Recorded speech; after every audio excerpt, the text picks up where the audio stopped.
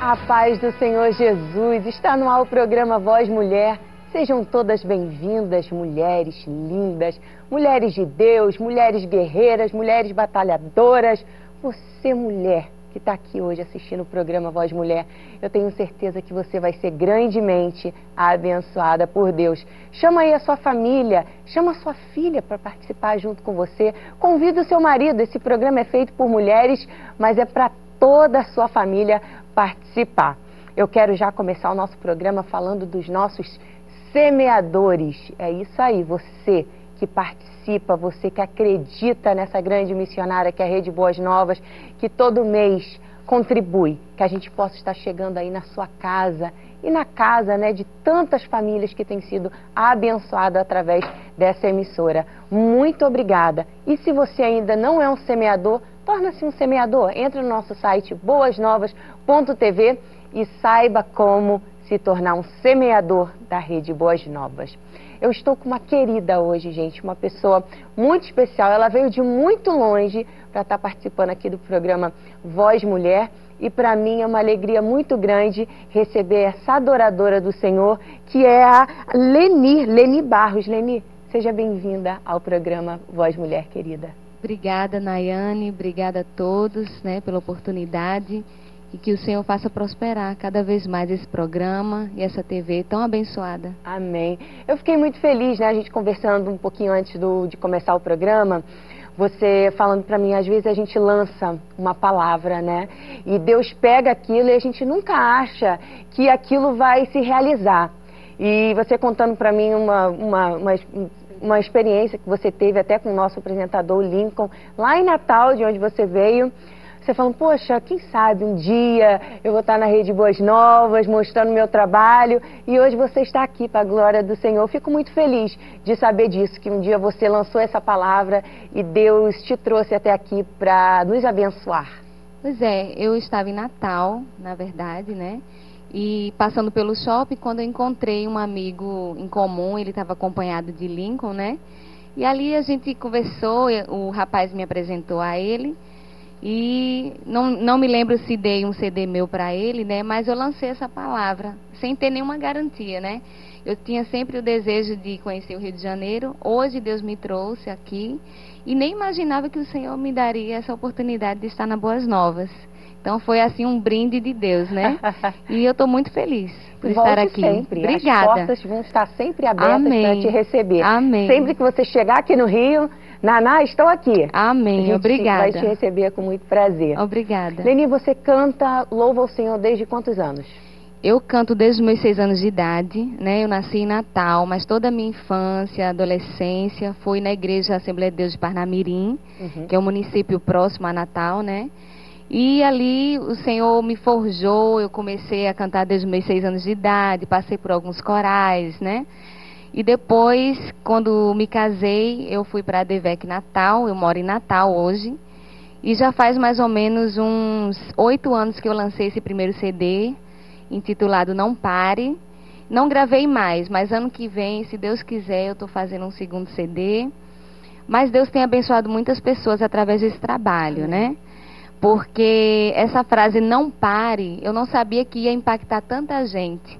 E também a mim, porque manter um ministério não é muito fácil, é. né? As pessoas geralmente no vídeo ou ao vivo vê só a aparência, a casca, capa. né? A capa, né? Tudo bonitinho, mas não sabe o preço por trás. É verdade. Que um adorador, um servo de Deus paga, né? Por exemplo, eu estou aqui longe da minha família, longe do meu marido, né?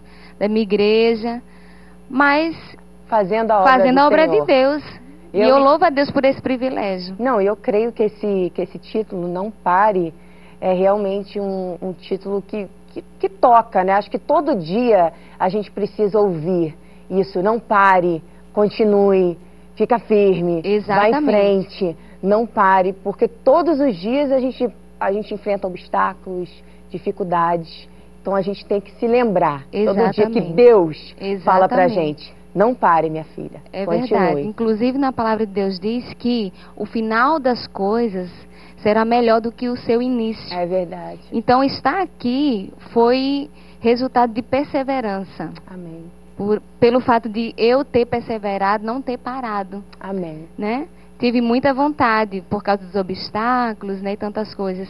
Mas glória a Deus porque eu cheguei até aqui. Amém. Glória né? a Deus. Você é nascida e criada em Natal.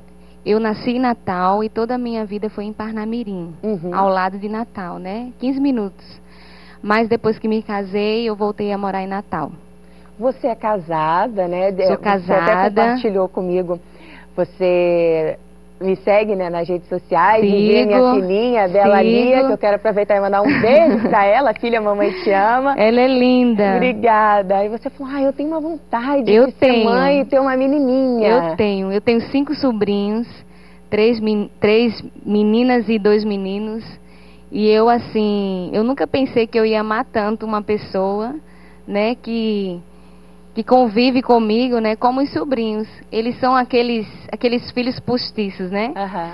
Mas eu acredito que quando o Senhor me der é, o prazer de ser mãe, eu acho que eu vou ser muito feliz, né? Sobrinhos é um, uma, uma, é um preparo. É um preparo. Né? Amor de tia é um amor muito grande. É. Então você vai se preparando é para a chegada do, do seu é mesmo. Verdade. Inclusive eu quero mandar um beijo pro meu marido, Edson. Claro, pode mandar um beijo para ele. Edson, eu te amo. Ai, obrigada pelas orações, obrigada pelo seu apoio.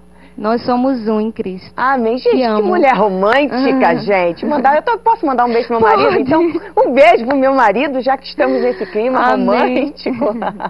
Você é da DEVEC? Sou da DEVEC Natal, pastor Anderson Santos, meu pastor querido. Eu estou aqui primeiramente por Deus, foi o Senhor que me trouxe, mas também sob a bênção do meu pastor. Amém. Né? E eu estou feliz. E a esposa do seu pastor participou do programa participou, Voz Mulher também, pregou aqui, Irmã Deus Larissa falou. Santos, né? Além de, de ser minha líder, minha amiga, uma pessoa que eu admiro muito e que muito me inspira. Né? Eu me inspiro muito nela. Amém. E eu, eu a amo. Amém. É verdade. Querida, eu tenho certeza que você vai ser uma bênção aqui no Amém, programa Voz Mulher. Deus vai te usar através das suas canções. Amém. E esse CD você gravou um tempinho atrás. Há uns oito anos atrás, mais E já tem já projetos para o próximo CD. Próximo ano, se Deus quiser. Vou logo lançar aqui o título do CD, né? E ele vai se chamar A Pérola. A Pérola. Nós Jesus somos... é a nossa pérola, Jesus né? Jesus é a nossa pérola. É o nosso maior tesouro, é né? verdade, que lindo. E ano que vem, A Pérola. Amém. Aí você volta aqui para lançar o seu volto, novo CD. Volto, Tá bom? sim. Daqui a pouco ela vai estar louvando e engrandecendo ao nome do Senhor. Mas antes de começar o nosso culto, a gente quer passar para você uma matéria muito especial que nós gravamos na África, na Angola. Gente, foi uma experiência maravilhosa, foram dias maravilhosos. Eu até vou estar pregando um pouco sobre isso hoje. Eu quero que você convide agora, né? Se a sua família saiu aí um pouco da sala, do quarto, chama, porque os seus filhos precisam ver um pouco dessa matéria. Confira. Seja aku Tafenye kuyo aku Takumbolo Waila mate Wakula mate ite ipo Ipo Akuli Akuli Tafenye yeku Akuli Akuli Takumbolo Waila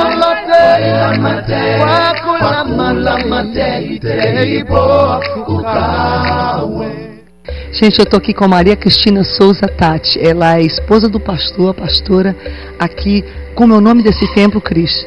É, Igreja da Brigada. Igreja da Brigada, da Rua da Brigada. Essa aqui é Esther. Quanto tempo vocês estão na obra, Cris? Aqui há dois anos, aqui na Brigada. E no total? É, o meu esposo já vai a caminho de 14 a 15 anos, no, a memória me falha, e eu desde 2011.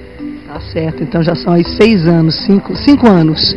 Isso. É, qual, qual, é o maior desafio que você encontra para né, fazer a obra do Senhor aqui em Angola, na, na cidade de Luanda? É, são vários. Primeiro, a população, aqui na Brigada, a população ela não é estudada e muitas das vezes é difícil chegar na casa de alguém a comunicação e outras vezes também estilo de vida. É, povo que ainda precisa se voltar para Deus, ainda precisa de restauração, instituição, então nós vamos lá e pregamos, hoje vem para a igreja, amanhã volta a beber, e depois da manhã vem para a igreja, e amanhã faz aquilo que não é errado. Então a nossa luta é essa diária, é trabalhar dia após dia com paciência, perseverança e trabalhar muitas das vezes os mesmos erros. Errou hoje, busca atrás de novo e está firme, amanhã volta a errar e busca de novo, e essa é a nossa luta buscar para restaurar vidas. Certamente vocês têm visto milagres acontecer. Com certeza. Tem saído pessoas curadas, tem saído pessoas transformadas aqui mesmo. O pastor da igreja, os auxiliares são testemunhos disso. Outrora tinha uma vida diferente, mas Jesus chamou, restaurou e hoje estão aqui servindo ao Senhor e glorificando o nome dele. Tá certo. Você sabe que no Brasil tem muitas mulheres, muitas pessoas orando. Eu digo mulheres porque aqui é o programa Voz Mulher, um programa de mulheres, mas enfim, a igreja orando aqui por vocês em Angola. Verdade. Eu sei que tem intercessores e graças a Deus que existe, né? Porque isso tem ajudado a fortalecer esse ministério. Então aproveita esse momento e olha para essas mulheres aí pelo Brasil afora e pode fazer um pedido de oração, aquilo que você mais precisa, né? aquilo que é o seu, é, é, é digamos assim, o seu sonho, o seu maior desafio no momento. Opa, Esther mulheres brasileiras, Pai do Senhor, eu gostaria que quando orassem, não esquecessem de Angola, em especial a Igreja da Brigada, a pastora Cris, é, que me ajudassem em oração pelo Ministério das Mulheres. Nós temos aqui trabalho com mulheres e preciso muito da vossa intercessão para que juntas possamos então continuar a pregar essa mensagem que é o Evangelho da Salvação. Cris, Deus te abençoe. Amém. Obrigada. Tchau. Aleluia! Chegou a hora do nosso culto. Fique à vontade na presença do nosso Deus. Ele está aqui, ele está aí na sua casa. Por isso, abre o seu coração e deixe que ele fale aí agora, aonde você está. Pai amado, Deus de poder, Senhor, nós estamos na Sua presença. Obrigada, Pai, por essa oportunidade de falar do Teu amor, falar que Tu és grande, que Tu és Pai, que tu és amigo, que tu és, Senhor, aquele que todas as manhãs, quando nós colocamos os nossos pés no chão, nós sabemos que tu estás ali para nos ajudar, para nos socorrer, para nos guiar, Senhor. E por isso nós damos toda a honra, toda a glória para ti. Por isso, agora, Senhor, nós queremos te pedir: receba o nosso louvor, receba a nossa adoração. Tudo que nós estamos fazendo neste momento é para que o seu nome venha a ser glorificado. Pai, aonde estiver agora uma pessoa necessitada, aonde estiver agora, Pai, uma pessoa precisando das suas mãos, precisando, ó Pai, ouvir a sua voz, toque agora aonde essa pessoa estiver. Nós estamos aqui para ser canal de bênção. Senhor, nos use para falar do teu amor e para pregar a sua palavra. Nós te louvamos e já te agradecemos por tudo. Amém e amém. É tão gostoso sentir a presença de Deus, é tão gostoso ter essa liberdade de falar com o nosso Pai. Você já pensou nisso? Que existe agora tantas pessoas que não podem clamar, que não podem gritar Jesus. Mas não, nós aqui nós temos liberdade de falar Jesus, nós te amamos. Por isso, abre o seu coração e dê para Ele toda a honra e toda a glória, porque Ele merece. A cantora vai estar agora louvando ao Senhor. E você fica aí na sua casa em espírito de adoração. Não pare melhor vai vir depois. Espere, o pior já se passou. Insista, pois a porta vai se abrir. Não chore mais assim. Conquista sempre vem depois da luta. Resista. Noite começar.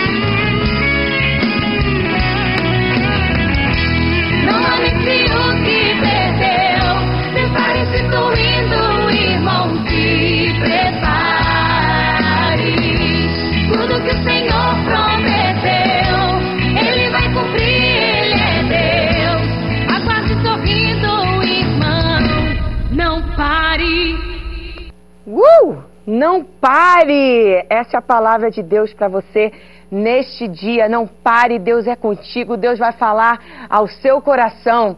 Neste momento, eu quero te incentivar você a participar do nosso programa Voz Mulher. Mande o seu e-mail, mande o seu pedido de oração que nós vamos estar orando por você. Essa semana nós recebemos alguns pedidos e eu quero compartilhar aqui com vocês. O pedido da irmã Sabrine Trindade. Peço oração para minha prima, que parece que está com depressão após um relacionamento. Ela está com baixa autoestima, sentindo uma tristeza profunda. O nome dela é Enila Cristina Travessos. Peço para mim também, Sabrina de Jesus Trindade Pinto, e pela salvação da minha família. A paz, minhas irmãs. Está aí o pedido de oração da irmã Sabrine. Irmã Sabrine, essa sua prima está em depressão depois de terminar um relacionamento. Levanta essa autoestima, minha filha. Deus é contigo.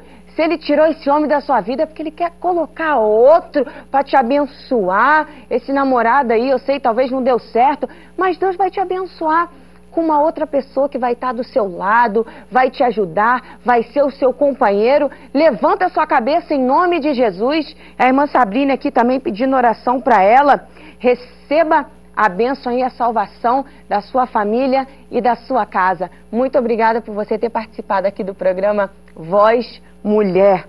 Tem também um pedido de oração da Lu Barbosa. Peço oração pela minha vida, pela minha família. Estamos precisando muito de orações. Estamos com muitos problemas. Peço principalmente oração pela venda de uma casa, para que Jesus Cristo abra as portas para que essa casa seja vendida. Está aí a irmã Luciene. Irmã Luciene, nós cremos no teu milagre, nós cremos que Deus vai abrir essa porta. Nós vamos estar orando por você. Receba agora a sua vitória em nome de Jesus. Muito obrigada e que Deus te abençoe. Temos também aqui o pedido de oração da irmã Bruna Vieira. Pedido de oração pelo filho Márcio Benício, que não consegue dormir e tem muito medo. Meu companheiro, peço oração também pelo meu companheiro Márcio, meu outro filho Bernardo e Benjamin. Beijos. Aqui em casa aprendo muito com essa rede missionária e evangelizadora. Somos de Florianópolis. Também gostaria de participar do sorteio do CD da cantora. Beijos, irmã Nayane. Está aí a irmã Bruna participando aqui do nosso programa. Irmã Bruna, muito obrigada. Nós cremos que o seu filho vai dormir bem.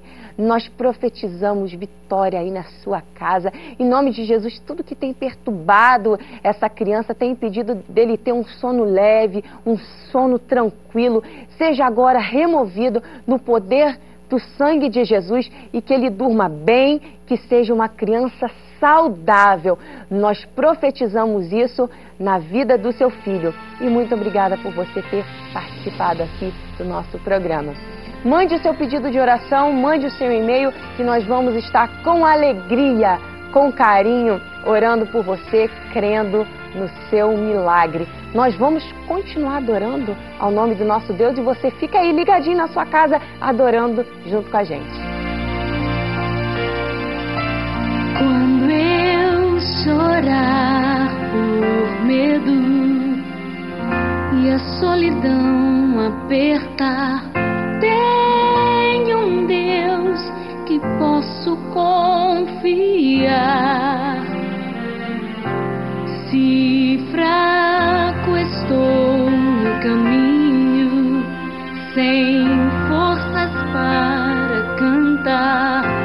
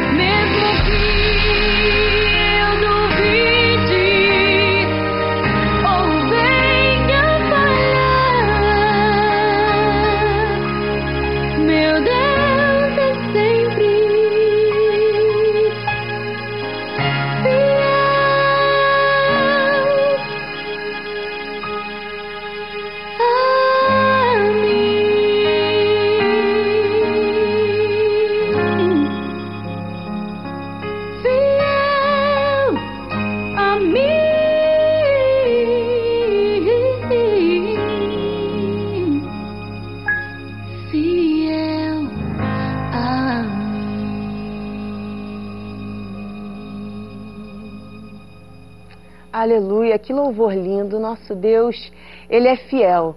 E é por causa da sua fidelidade que nós estamos aqui hoje. Obrigada, Pai, pela sua fidelidade.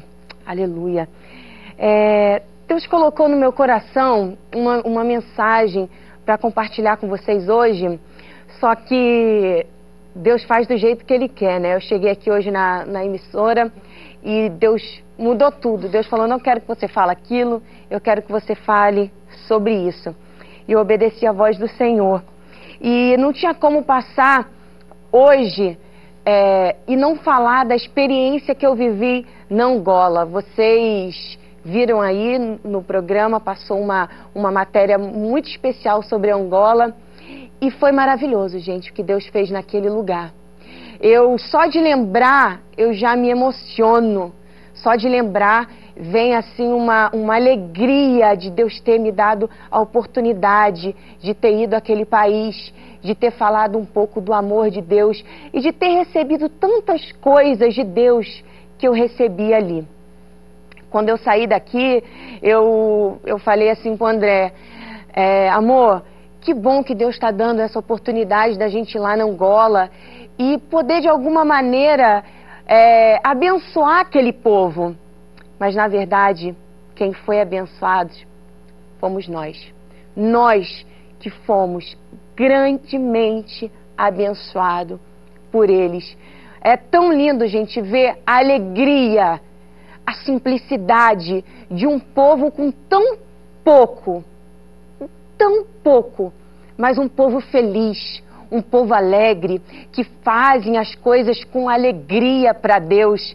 A gente chegava nos cultos e a gente via né, aquelas irmãs se alegrando, dançando na presença de Deus, um povo tão livre para adorar ao Senhor e aquilo mudou a minha vida. Poder ir nas escolas, né? Nós temos lá 30 igrejas na, na Angola e fizemos ali uma, uma maratona. Foi uma semana indo em todas as igrejas e nas escolas. E eu confesso que foi uma experiência maravilhosa. Não foi fácil, né? Quando você sai um pouco da sua zona de conforto e você vai para um lugar assim, você leva um impacto. Mas toda aquela experiência que você passa, você tira algo que você vai levar para toda a sua vida. Eu lembro que eu, que eu fui num lugar público, um lugar, nós estávamos num lugar muito simples, muito pobre, de extrema pobreza, e eu cheguei ali e, e fui num, num banheiro, e quando eu cheguei ali, eu vi uma mãe trocando a fralda da sua filha no chão. E aquilo, sabe, me emocionou tanto. Ela não tinha nem lencinho umedecido, não tinha aquele aquela pomadinha que a gente passa no bumbum da criança, e ela estava trocando o neném no chão sujo. E eu olhei para aquilo e falei, tantas vezes eu, eu vou no shopping e reclamo do fraldário do shopping. E aquela mãe trocando a fralda da sua filha naquele chão sujo. Uma, uma, cena também que me emocionou muito foi vendo umas crianças num, num, vilarejo, as crianças fazendo as suas necessidades no chão, porque não tinha banheiro e não tinha papel para se limpar.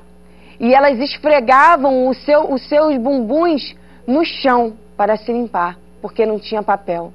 Então foram experiências assim que eu saí de lá muito tocada muito agradecida por Deus, Deus estar lá, podendo levar a palavra do Senhor, falando do amor do Senhor e extraindo todas essas experiências para a minha vida e saber e ser mais grata a Deus. Falar, Deus, obrigada pelo que eu tenho, obrigada pela minha família, obrigada pela minha casa.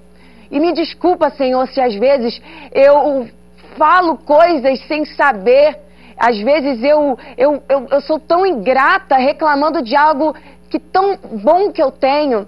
E essas pessoas aqui, com pouco, não reclamam. Com tão pouco, não falam nada negativo. A minha cunhada, a Luana, ela ela estava contando, a gente estava sentada, ela estava contando essa experiência para mim. Ela chegou assim, Naná, teve uma criança que chegou do nosso, do, do meu lado e ela era assim um pouco mais velha do que do que a Bela. Tinha acho que a idade do Samuel, que é do filhinho dela. Tinha uns três anos. E essa criança carregava outra criança no, no, no, nas suas costas, num paninho. E a Luana chegou, a minha cunhada chegou e falou assim: Não está pesado? E aquela criança respondeu: Não, não está pesado. Ela, te, ela teve a oportunidade ali de reclamar. Ela teve a oportunidade ali de falar: Poxa, tia, tá pesado. É tão difícil essa vida. Mas não, a criança respondeu: Não, não está pesado. Eu gosto porque é minha irmã. E eu fiquei tão, tão chocada com aquilo que às vezes, né, se fosse eu, eu ia aproveitar aquela oportunidade e falar, ah, tia, tá pesado, poxa, eu tenho quase a idade dessa criança e carregá-la no, no colo o dia inteiro dói, é pesado, machuca. Mas ela falou, não, não está pesado, não está doendo. Então eu pude encontrar ali um povo com tão pouco, mas que são tão, tão tão gratos por aquilo que eles têm. E eu voltei de lá outra pessoa, impactada com aquele, com aquele povo tão querido, aquele povo de Deus que adora com tanta, com tanta liberdade. Voltei de lá outra pessoa. E eu quero já voltar de novo para fazer a obra do Senhor. Mas eu tirei, eu, eu, eu estava vindo para cá, para a emissora, e eu me lembrei, antes de ir para a África, chegou uma pessoa para mim e falou assim: Ah, Naná, você está indo para a África? O que, que você vai fazer na África? Eu falei assim: Ah, vou para missões, vou visitar lá algumas igrejas. Ué, mas para quê? Para que, que você está indo para a África? Extrema pobreza, Angola, o que você vai fazer lá? Fica aqui na tua zona de conforto, aqui está tão bom. Para que, que você vai para lá? Você não precisa disso. Ela usou essa frase. Você não precisa disso. E eu falei: realmente eu não preciso disso, mas eu quero isso. Aí ela chegou para mim, falou assim: Ah, eu sou crente, mas eu não, não tenho vontade para a África, não. Não tenho vontade de fazer missões. Eu gosto de, de ser crente, ir na igreja aos domingos, ficar assim, mas eu, eu não vou para isso, não. Sabe por quê? Porque eu não quero. Eu não quero. Eu não quero. E essa frase ficou na minha mente. Eu não quero fazer isso. Eu não quero fazer isso. E foi aí que Deus colocou essa palavra no meu coração. Que eu quero ler com vocês agora o livro, livro de Jonas, capítulo 1, que diz assim: capítulo 1, versículo 1 ao 3. E veio a palavra do Senhor a Jonas, filho de Amitai, dizendo: Levanta-te, vai à grande cidade de Nínive e clama contra ela, porque a sua malícia subiu até mim. E Jonas se levantou para fugir de diante da face do Senhor para Tarsis. E descendo a Jope, achou um navio que ia para Tarsis. Pagou, pôs a sua passagem e desceu para dentro dele, para ir com ele, eles para Tarsis, de diante da face do Senhor. E foi aí que o Senhor começou a falar comigo, depois que eu lembrei dessa frase desta pessoa: Eu não quero fazer isso. E Deus me levou ao livro de Jonas. Todos nós conhecemos o profeta Jonas. Todos nós sabemos dessa história. Sabemos que ele, ele foi conhecido como o profeta fujão, né? O profeta que desobedeceu à voz de Deus. Deus manda Jonas ir para Nínive e ele fala: Não, eu não quero fazer isso. E ele foi para outro lugar, foi para Tarsis. Aí você me pergunta: pô, Jonas, ele era um profeta, ele era um homem de Deus. E de repente ele fala para Deus: Não, Deus, eu não quero fazer isso. Eu não quero fazer isso. Eu não vou fazer isso. E eu quero falar bem abertamente com você hoje. Às vezes, Deus, ele vai te pedir para fazer algo que você não vai querer fazer. Nem tudo que Deus te mandar fazer vai ser algo que você queira fazer. Mas você vai precisar fazer. Nem tudo que Deus te mandar fazer, você vai gostar de fazer. Mas se Deus te chamou, é porque Ele viu em você uma capacidade que nem mesmo você sabe que você tinha. E se Ele te chamou, é porque você precisa ir. Porque Deus precisa de você naquele lugar. Aquela mulher virou para mim e falou assim: Não, eu não quero fazer isso. Mas se Deus chamou ela para ir para a África para falar do amor de Jesus, ela vai desobedecer a voz de Deus? Ela precisa se levantar e precisa ir fazer a obra do Senhor. Nem tudo que Deus nos chama para fazer, nós vamos querer fazer. Mas nós precisamos fazer. Porque Deus conta com você, Deus conta comigo para que a sua palavra seja pregada e que o seu amor seja espalhado para essas pessoas. Às vezes eu, eu, eu passo assim na rua e lá perto de casa, agora tem, tem, não sei, do nada, saiu lá perto da praia, fica com muitas prostitutas. E toda vez que eu passo ali, meu coração ele fica tão triste, porque são meninas da, da mesma idade do que eu. E quantas vezes eu já dei voltas, eu faço retorno para parar e falar do amor de Jesus. E Deus ele me incomoda, fala: saia do carro. Fala que Deus ama. Fala que ela não precisa fazer aquilo. Que Deus tem um chamado na vida dela. E quantas vezes eu dou a volta e paro e falo que Jesus te abençoe. Jesus te ama. E às vezes é uma estratégia, porque aquela menina, ela é da minha idade. Então, às vezes, Deus te chamou para uma missão específica, porque Ele precisa que você esteja ali. Imagina, uma menina prostituta, vê que eu parei o carro ali por causa dela, eu sou da idade dela, aparentemente bem arrumada, virar para ela e falar assim: Jesus te ama.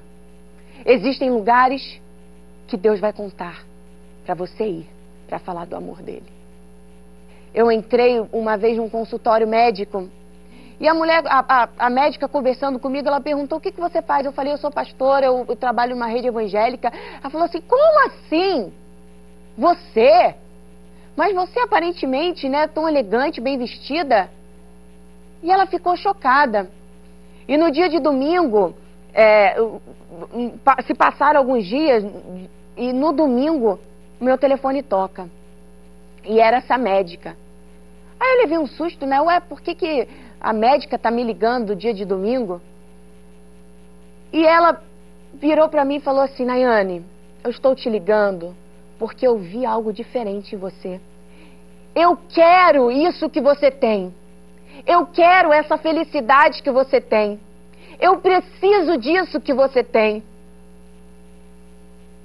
Deus me usou para aquela mulher para falar do seu amor. Eu não precisei ir muito longe, mas naquele dia eu preguei e falei: Deus te ama, Deus tem uma obra na sua vida. E hoje a mulher que já estava separada para ser dona de centro espírita, mãe é, é vai para candomblé, família inteira candomblé. Ela foi a primeira a aceitar Jesus. Porque um dia eu sentei no consultório dela e falei do amor de Jesus. Quando Deus mandar você fazer alguma coisa, faça. Não fuja, porque Ele está contigo e Ele vai te abençoar através das suas palavras. Não fuja do seu chamado. Não fuja daquilo que Deus chamou para você fazer. Sabe de uma coisa? Quando você se determinar em fazer algo para Deus, vai ter sempre um barco preparado, pronto para te levar para a direção errada. Como aconteceu com Jonas. Jonas, ele falou assim: Não, Deus, eu não vou, não vou te obedecer. e tinha lá um barco preparado para levar ele para longe da vontade de Deus.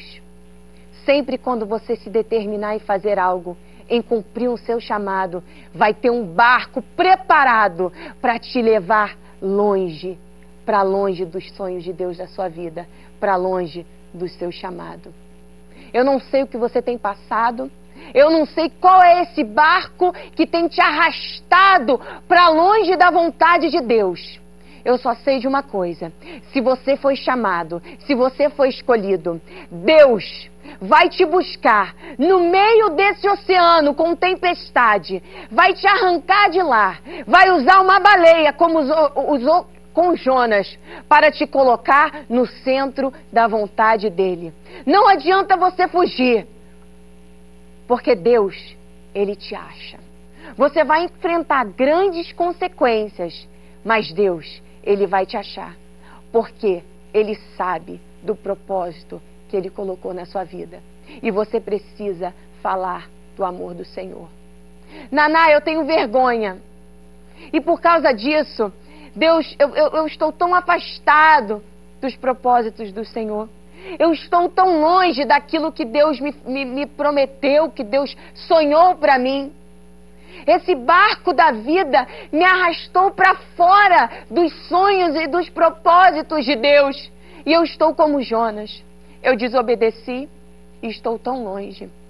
Mas nesse dia eu quero falar que Deus, o mesmo Deus de Jonas, ele vai te resgatar. E não adianta você fugir. Você precisa concretizar o chamado de Deus na sua vida. Pregue do amor dele. Fale daquilo que ele tem sido na sua vida. Fale de tudo que ele tem colocado aí dentro do seu coração. Não adianta você se desesperar depois. Não adianta, meu Deus, eu fugi do propósito de Deus. Deus vai te achar. Deus vai te achar. Porque, do mesmo jeito que ele precisava de Jonas para pregar naquela cidade, ele precisa de você para falar do amor dele para o povo necessitado. Deus, ele pode mandar uma tempestade para chamar a sua atenção, como fez com Jonas. Jonas, ele precisou de uma tempestade para lembrar daquilo que Deus tinha prometido para ele e daquilo que Deus tinha mandado ele fazer e ele desobedeceu. Às vezes aí você tem enfrentado problemas difíceis, dificuldades, problemas e você não sabe o porquê disso. E você se pergunta, Senhor, mas o que eu fiz? E neste dia Deus te lembra, lembra que eu te mandei fazer algo e você não fez? Acontece isso, Naná? Sim, acontece. Quando nós fugimos do chamado de Deus, do propósito de Deus, a gente fica totalmente perdido.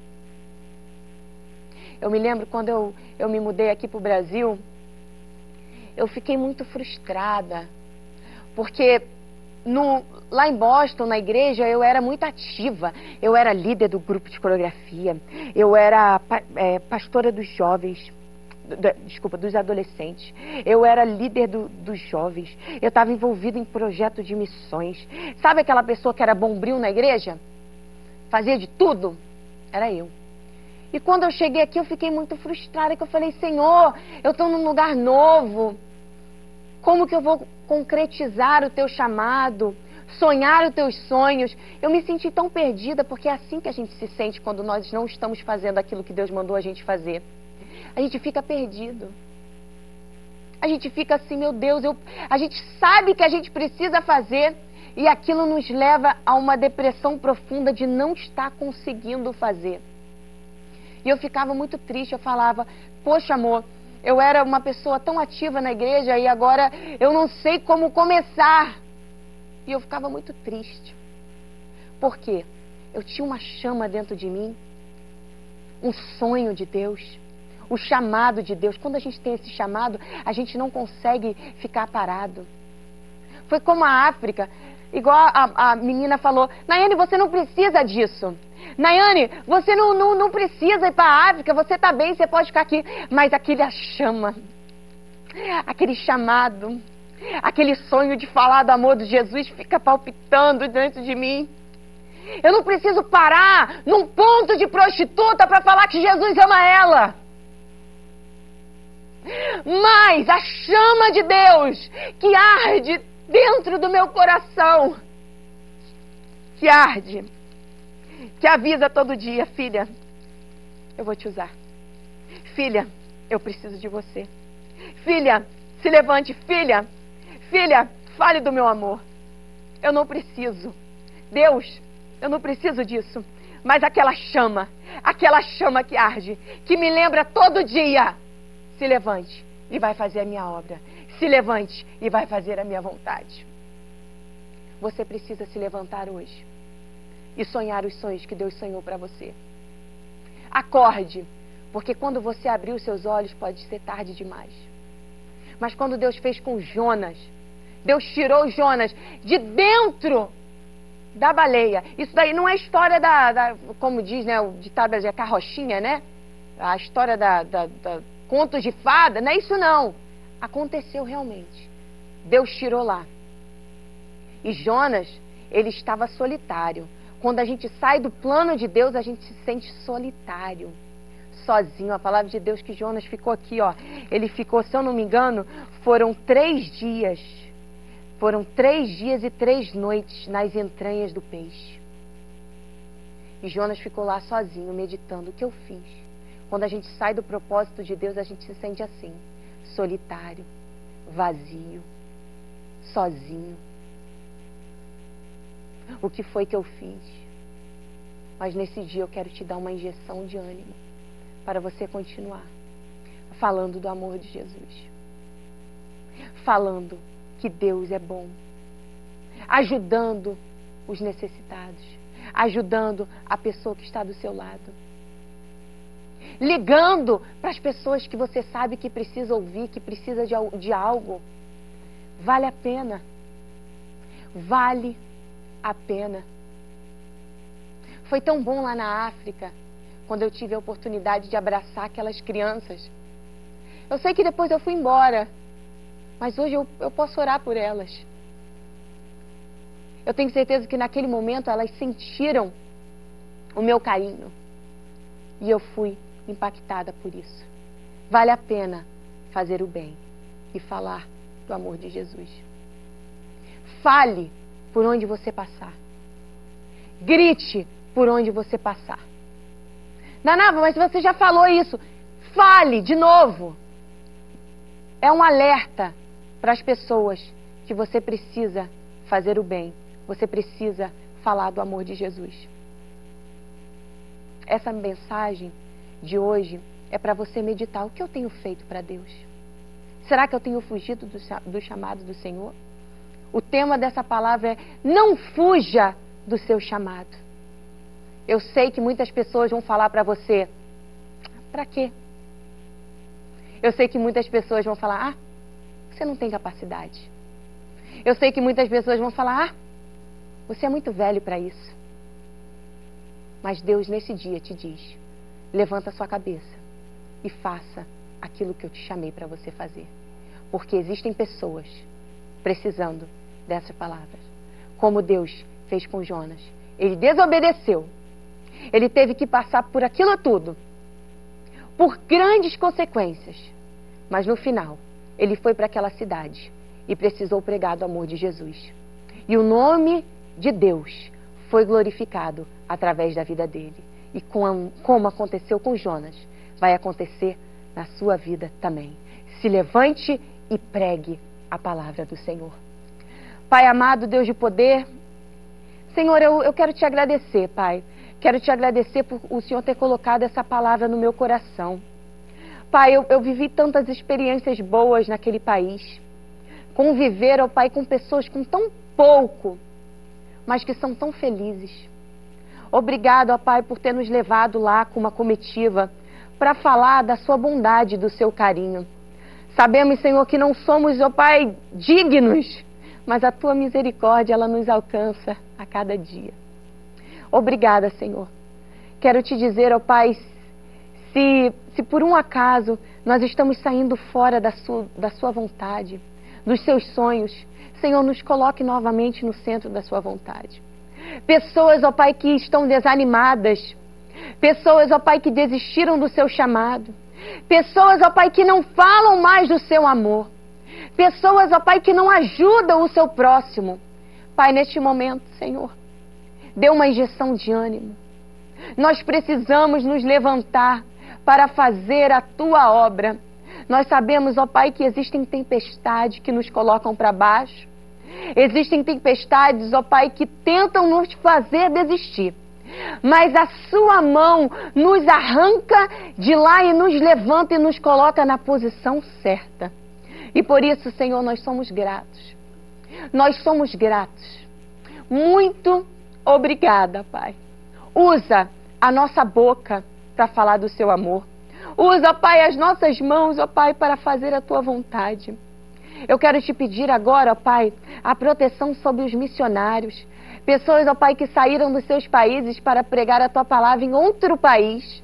Largaram famílias, suas casas, seus afazeres, por amor à tua obra. Eu quero orar por eles. Quero pedir a sua proteção. Abençoa, Pai, agora especificamente Angola, aquele país tão sofredor, que já passou, ó Pai, por tantos problemas. Agora, ó Pai, tem se levantado. Nós vemos, ó Pai, que tem tantas coisas acontecido, tem, tem mudado, muitas coisas têm tem, tem mudado ali. E nós vemos ali o teu nome sendo glorificado através daqueles irmãos, igrejas se expandindo. Obrigada, Senhor. E nos use para ir até lá e falar do teu amor. Nós queremos ser um canal de bênção. Não queremos fugir do nosso chamado, mas queremos ser um canal. Muito obrigada. Obrigada, Deus. Levante, não fuja do seu chamado, porque Deus conta com você. Jesus sabe o que se passa com você. Quando você fica triste dentro do teu quarto e as lágrimas conta do teu ser. Você diz que não tem jeito, a tua vida é um fracasso. Ele diz: Vinde a mim. Se o teu fardo está pesado,